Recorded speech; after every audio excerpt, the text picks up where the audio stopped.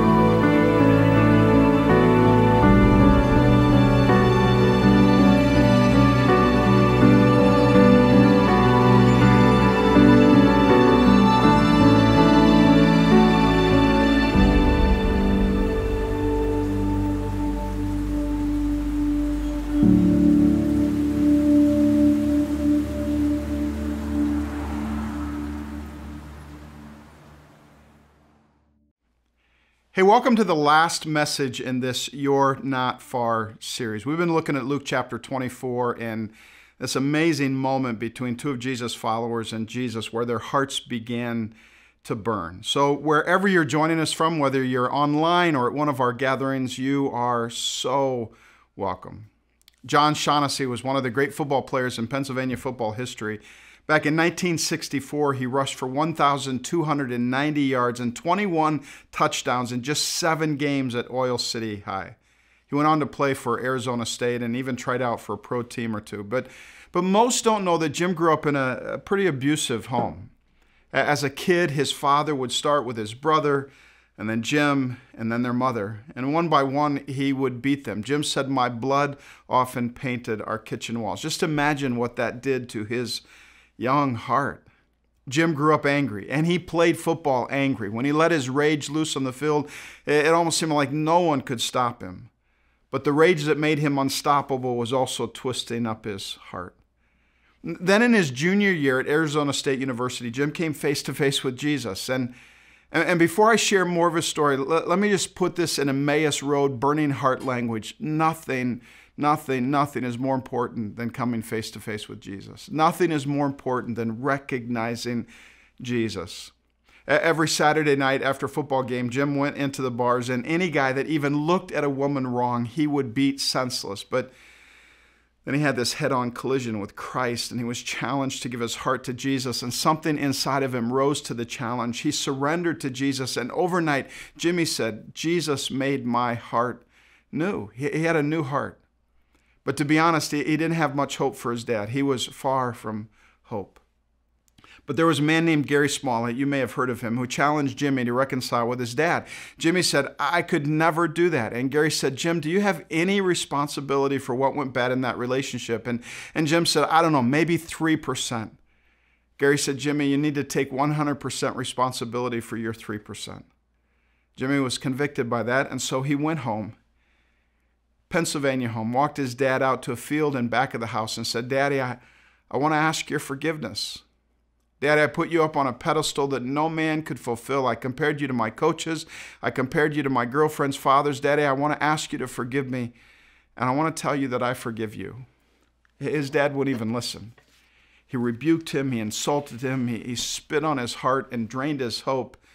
And, and Jimmy just began to weep there in that field. And he looked up into the sky, said, God, I don't know what to do anymore. All I hope is that someday my daddy will get to know you as father, just like I've gotten to know you as father. See, when our eyes are opened and we recognize Jesus in our midst, our, hearts begin to burn. It, it's like no hope is too large to hope. when Jimmy recognized Jesus in his life, he began to believe that God could even help his father see Jesus. He, he, he his head hoped. was now turned to fresh hope. He looked down after he prayed, and, and his daddy was crying his eyes out. He had never seen his dad cry in his life.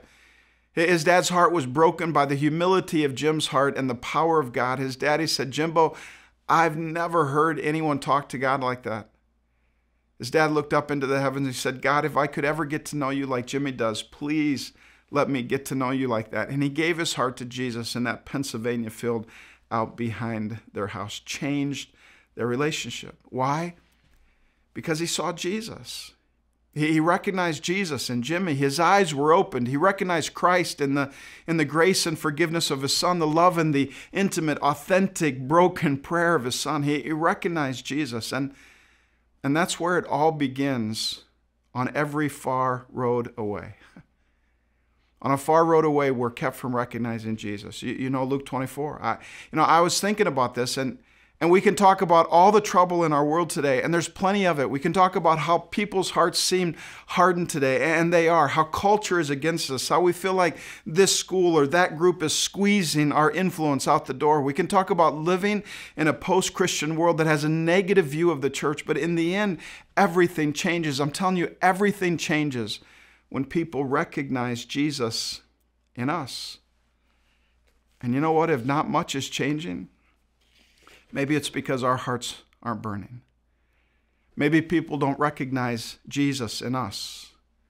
Recognizing Jesus was at the heart of the Emmaus Road all those years ago. Let, let me read again Luke chapter 24, verses 13 through 16. It says, Now that same day, two of them were going to a village called Emmaus, about seven miles from Jerusalem, and they were talking with each other about everything that had happened. And as they talked and discussed these things with each other, Jesus himself came up and walked along with them, but they were kept from recognizing him.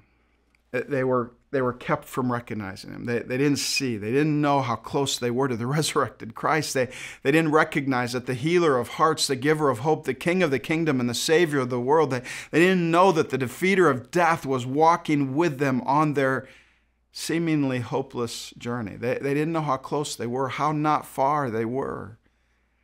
They didn't know, and and when we don't know, we, we describe our life with words like, we had hoped, but now we're far.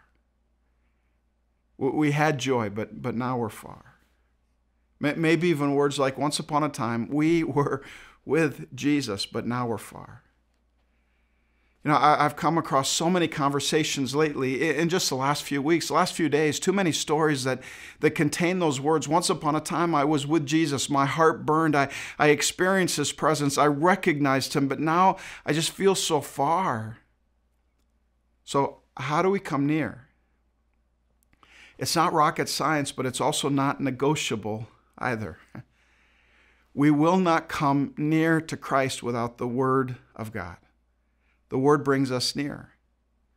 Uh, John Ortberg shares a, one of my favorite stories about some friends in the Midwest. From an outside look, they had it all together. Successful lawyer, gorgeous house for a stay at home mom. Her name was Eileen, but her soul was slowly starving, and her husband was an alcoholic. Well, one day, a neighbor, front yard mission, right, invited their daughter to a gathering in their home. They called it a backyard Bible club. When her daughter came home, she found out that the people at the club had told her daughter about Jesus, which really kind of bothered Eileen. She wasn't into religion. Frankly, she was upset that it happened at all, but her daughter just couldn't stop talking about Jesus. Uh, Eileen couldn't sleep that night. She got up uh, about midnight. She opened a drawer to find a Bible that had never been read. She she saw that it had an Old Testament and New Testament. She had no idea what that even meant, but she figured the New Testament must be the upgraded version, so she started there. She read Matthew and Mark and Luke, and she finished the Gospel of John at three in the morning. And in her own words, I just fell in love with this man, Jesus, and what the disciples are doing, I, I want to do. Not soon after that, her husband's law firm made him go to AA. And through someone at AA, he met Jesus, and, and God gave him the power to quit drinking. All because she discovered Jesus. She was pointed to Jesus and the Word of God. See, this is the glorious goal of Scripture. The, the Word points us to, it brings us to Jesus. I mean, isn't this what Jesus was saying in the hours after his resurrection as he walked that road before they even knew about resurrection? Jesus is walking on this road to Emmaus with these two friends, these two followers. They don't recognize him, but after they pour out their story, we see in Luke 24, verses 25 through 27, Jesus said to them, How foolish you are, and how slow to believe all that the prophets have spoken. Did not the Messiah have to suffer these things and then enter into his glory? And beginning with Moses and all the prophets, he explained to them what was said in all the scriptures concerning himself. Do you understand? All of Scripture tells his story. All of Scripture tells the story of Jesus, the writings of Moses and the prophets. Later, talking to the rest of the disciples, Jesus will include the Psalms, Moses, the prophet, the Psalms. It all points to the amazing story of Jesus. Do you remember the movie The Sixth Sense? It was the movie that everybody wanted to see a second time, but nobody would watch a third time, right? The, the first time you watch the movie, you get to the end and it's like, oh my goodness, I missed it. I, I watched the whole movie and I missed it. The, the movie is about a, a little boy who's meeting with a psychologist, and the little boy's problem is he sees dead people. Spoiler alert. You get to the end of the movie and you find out that Bruce Willis, the psychologist, is one of the dead people that the little boy is referring to when he says, I see dead people. I mean, the whole movie, the whole time Bruce Willis was dead, and, and you missed it the first time through. But then when you discover that he's one of the dead people, that news changes everything. It changes the whole story. When you watch it the second time, every scene is transformed by that news. There's Bruce Willis and a woman talking. The first time through, you couldn't understand why she wouldn't look at him. And now you realize she couldn't see him. He's dead. You can't watch the second time without seeing the story in light of this news. It changes everything. Well, Jesus is the news that changes everything in Scripture. He's the missing piece of information that transforms the Word of God. Don't read the story of Jonah in the belly of a well for three days, three days, without having an I see dead people moment. It's like, wait a minute, three days in the belly. Oh my goodness, it's pointing to Jesus. Rahab's scarlet cord of salvation in the book of Joshua, Esther's willingness to die for her people. How often do we need to read in the book of Leviticus that life is in the blood of the sacrifice? Isaiah's suffering servant, Jesus, he's all over the place. But, but that's not all, right? It's not, it's not just finding out about Jesus that draws us to the Word. We're actually drawn to Christ Himself by the Word. if you know anything about the spiritual culture, the history of the Jewish people in the time of Jesus, you, you know that they were a people of the book. They honored and revered, revered the, the Torah. They're, their culture and their community revolved around the book, the scrolls of, of God. And, and this reference for Scripture shaped the life of the early church too. I love the story that Rock Bottomley shares. I don't know, how could you name your kid Rock Bottomley? I mean, can you imagine all the kids in middle school who just wanted to be able to say, Yep, I hit Rock Bottomley today? Anyway, Rock tells a story of visiting Israel and sitting beside the Sea of Galilee while their guide reenacted a typical early Christian worship service. When they came to the part of the service during which people listened to the reading of the Bible, the words of God, their teacher walked to the ancient ruins of a closet where the sacred scrolls of the Torah had been stored, and he took out an imaginary scroll. And as the people clapped in unison, he began to dance the Torah dance. While he was weaving his way through the congregation, the people imitated the early church worshippers by putting their, their hands to their lips and then touching the sacred scroll as he passed by, there, thereby kissing the sacred words of God. And as the teacher made his way back to the front, everyone would stand. And then he would read the words of Scripture. And when he was done reading, he would declare, These are the very words of God. Rock writes, This is why they clapped with excitement. This is why they kissed the scroll. This is why the reader danced. This is why they stood in hushed silence while the scriptures were read. This is why they listened with eager anticipation because God was about to visit them. They were a people of the book. And I say all of this to simply set the context for John's words in, in John's gospel in John chapter 1, verses 1 through 4, when, when John writes, In the beginning, the Word already existed. The Word was with God, and the Word was God. He existed in the beginning with God, and God created everything through Him, the Word of God, and nothing was created except through Him. The Word gave life to everything that was created, and His life brought light to everyone. The Word is a lamp to our feet and a light to our path, the psalmist wrote. It's active and alive, Paul wrote. It, it sets the lines and it shapes our hearts, but but, but there's more because it's not just a book. John tells us that the Word became flesh and lived in our midst, the glorious Son of God. In other words, the Word of God is the Son of God. There's some kind of connection that goes beyond metaphor into the land of mystical, a connection between Jesus, who is called the Word, and the Word which we call our Bible, it's almost like God speaks, and every time He opens His mouth, Jesus comes out.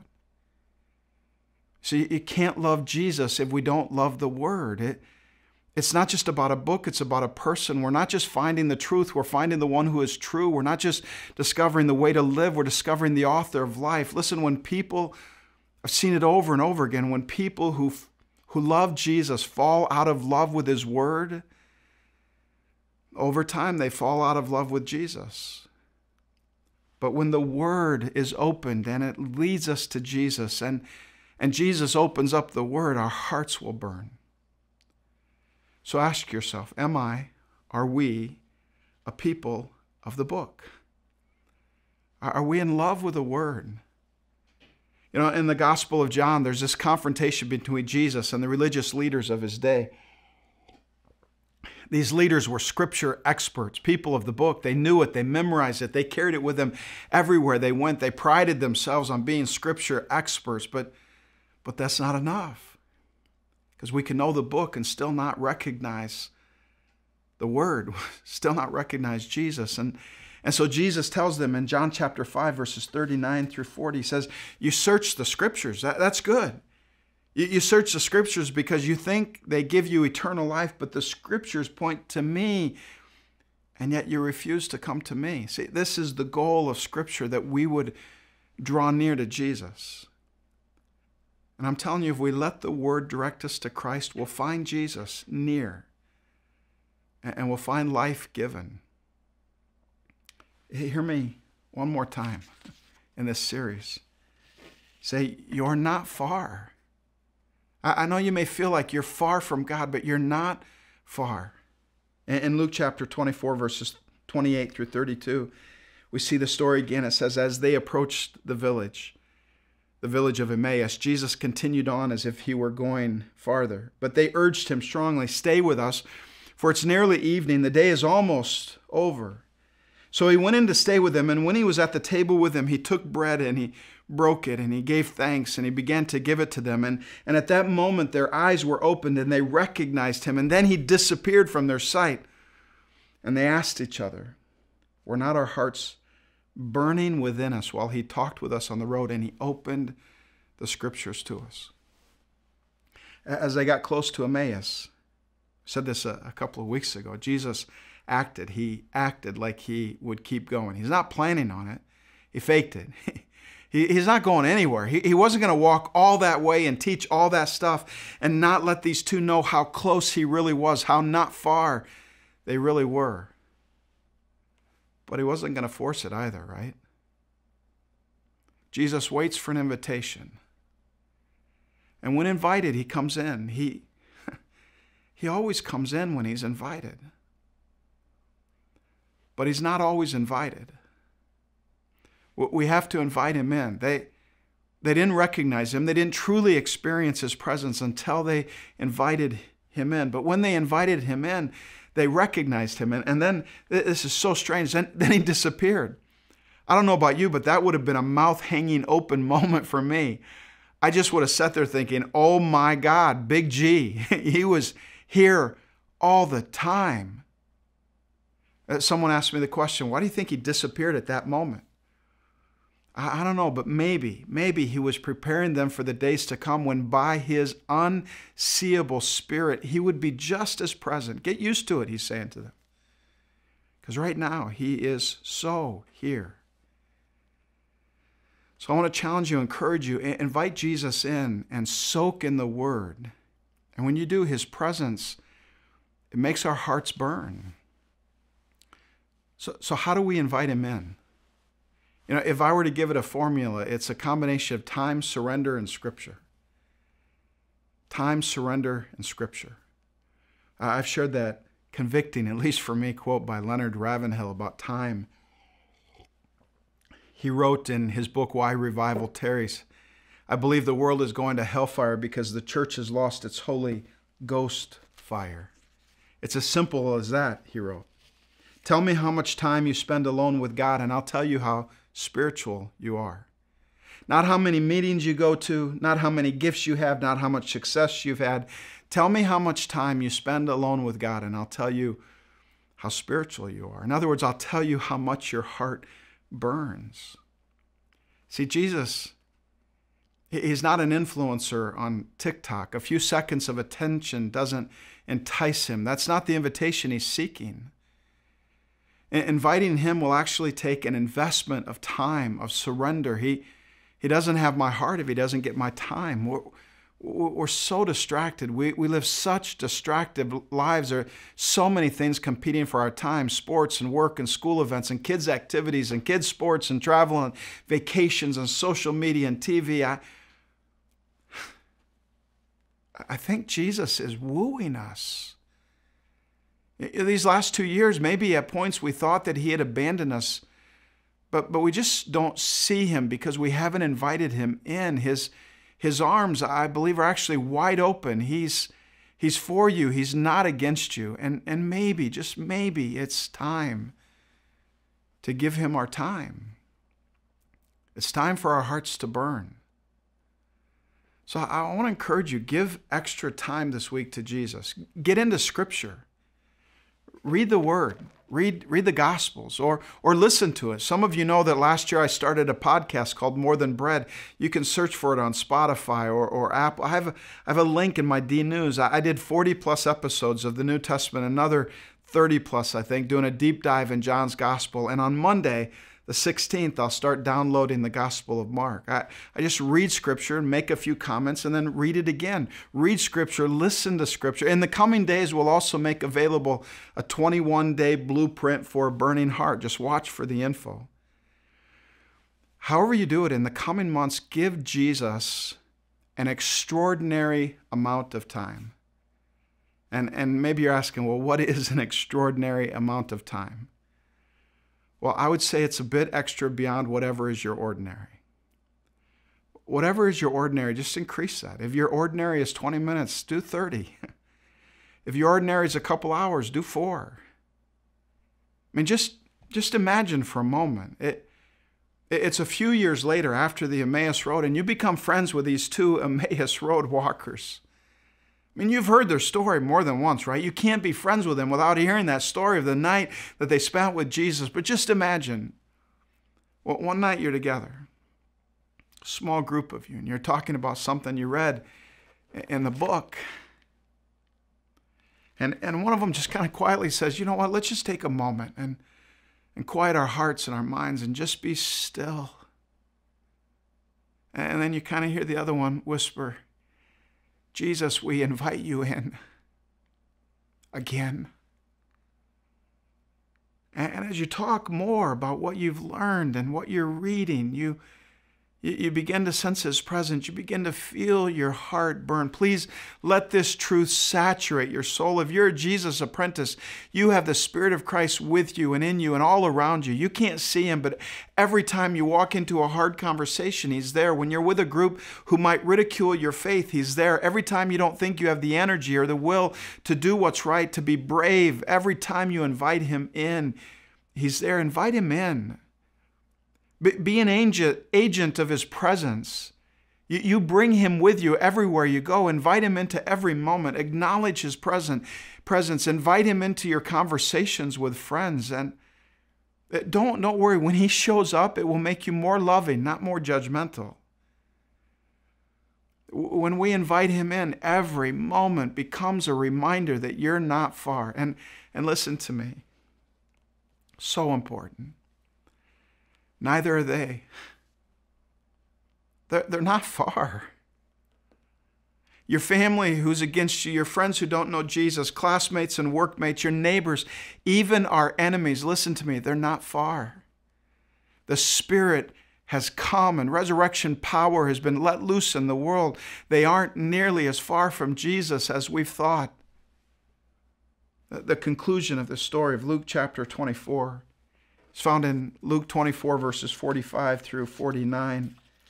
And, and what it says is, then he opened their minds. This is, this is Jesus with all the disciples, not just the, the two. Then he opened their minds so they could understand the scriptures, and he told them, This is what is written The Messiah will suffer and rise from the dead on the third day, and repentance for, for the forgiveness of sins will be preached in his name to all nations. And you, listen to me, You are witnesses of these things, Jesus said. Said to them, he said, says to us, You are witnesses of the witnesses of these things. I'm going to send you what my Father has promised, but stay in the city until you have been clothed with power from on high. In other words, if you have invited Jesus in, if your eyes have been opened to recognize Jesus, and Jesus says you are a witness to the resurrection, you are covered with resurrection power, you are not far. And neither are they. Neither are they. Nicole Cliffe became a, a, Christian on July 7, 2015, after what she called a very pleasant adult life of firm atheism. She felt far. Anybody who knew her says she's far from God. I mean, the idea of a benign deity who created and loved us, she writes, was obviously nonsense, and all that awaited us beyond the grave was joyful oblivion. I had no untapped, unanswered yearnings. But here's how she describes what happened to her. She says, First, I was worried about my child. And one time I said, Please be with me to an empty room. It was embarrassing. I didn't know why I said it or to whom. I brushed it off. She said, I, moved on. The situation resolved itself and I didn't think about it again. But do you understand? In that moment, she, she invited him in. Didn't recognize it was Jesus, but she invited him in.